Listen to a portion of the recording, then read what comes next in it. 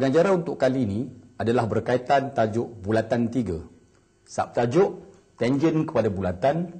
Pengenalan kepada tajuk ini menerangkan bagaimana menentukan sifat-sifat berkaitan dengan dua tangen kepada satu titik di luar bulatan. Contoh satu, dalam rajah di bawah, AB, BC dan AC adalah tangen bagi bulatan. Diberi AG sama dengan 4.5 cm, BH sama dengan 4 cm dan CK sama dengan 3.1 cm. Carikan perimeter segitiga ABC. Untuk menjawab soalan ini, kita melihat kepada maklumat dalam soalan iaitu panjang AG diberi 4.5 cm. Kita letak pada gambar rajah berkenaan. Oleh kerana AG dan AK merupakan tangen yang bertemu di luar bulatan, bermakna panjang AG sama dengan panjang AK. Jadi panjang AK adalah 4.5 cm. Diberi panjang BH 4 cm dan kita lihat BH dan BG juga merupakan tangen yang bertemu di luar bulatan. Oleh itu panjang BH sama dengan panjang BG. Jadi panjang biji juga 4 cm. Maklumat yang ketiga, diberi panjang CK 3.1 cm. Panjang CK saya letakkan di gambar rajah 3.1 cm. CK dan CH adalah dua tangen yang bertemu di luar bulatan. Oleh itu panjang CH juga adalah 3.1 cm. Untuk mencari perimeter segitiga ABC kita tambahkan satu persatu ukuran yang berada pada segitiga berkenaan iaitu 4.5 tambah 4 tambah 4 tambah 3.1 tambah 3.1 tambah dengan 4.5 jawapan yang kita perolehi adalah 23.2 cm untuk contoh dua dikemukakan satu soalan iaitu rajah di bawah menunjukkan sebuah bulatan berpusat O. PQ, PR dan QR adalah tangen kepada bulatan itu. Carikan nilai sudut X, sudut Y dan sudut Z. Berdasarkan gambar rajah, kita dapati bahawa RQ dan PQ adalah tangen yang bertemu di luar bulatan pada titik Q. Jadi untuk mendapatkan sudut X, dua sudut yang bertentangan iaitu sudut X bila ditambah dengan 110 darjah menghasilkan sudut 180 darjah. Untuk mendapatkan sudut X, kita pindahkan 110 ke sebelah kanan, kita mendapat 180 tolak 110 darjah. Maka sudut X adalah 70 darjah.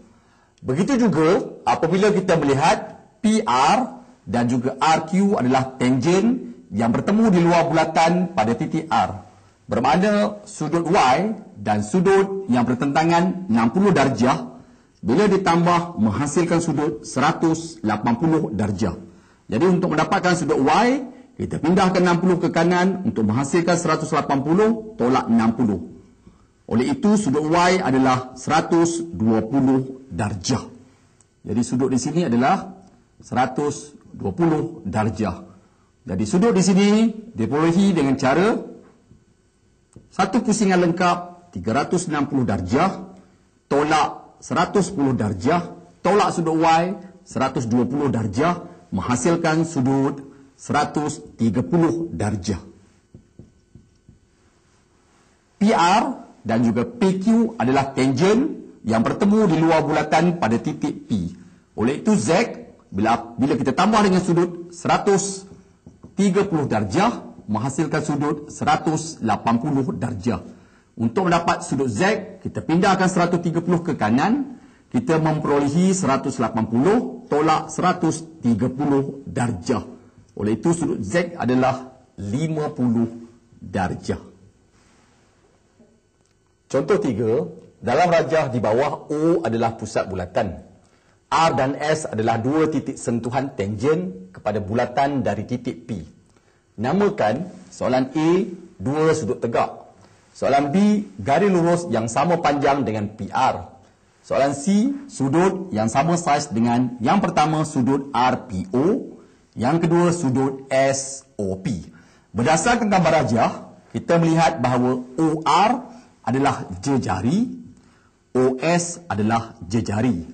PR adalah tangen kepada bulatan, PS juga merupakan tangen kepada bulatan. Kita tahu bahawa sifat jejari apabila bertemu dengan tangen dia akan membina sudut 90 darjah. Begitu juga dengan OS jejari bertemu dengan tangen PS dia akan membina sudut 90 darjah. Oleh itu untuk menjawab soalan A dua sudut tegak yang dikenakan adalah sudut ORP sudut yang kedua adalah sudut OSP. Untuk menjawab soalan B pula kita nak memberikan nama garis lurus yang sama panjang dengan PR. Cuba perhatikan gambar rajah. Kita dapati bahawa PR tangen kepada bulatan, PS juga tangen pada bulatan bertemu pada titik P. Oleh itu, panjang PR akan sama dengan panjang PS. Jadi jawapan soalan B adalah PS. Dan untuk menjawab soalan C pula, kita nak memberikan nama sudut yang sama saiz dengan sudut R PO. R PO sudut di sini. Dia akan sama dengan sudut SPO. So soalan pertama jawapan adalah sudut SPO. Manakala untuk soalan yang kedua namakan sudut yang sama saiz dengan sudut SOP. SOP sudut di sini ya. Dia akan sama dengan sudut R OP. Soalan yang kedua, jawapan adalah sudut ROP.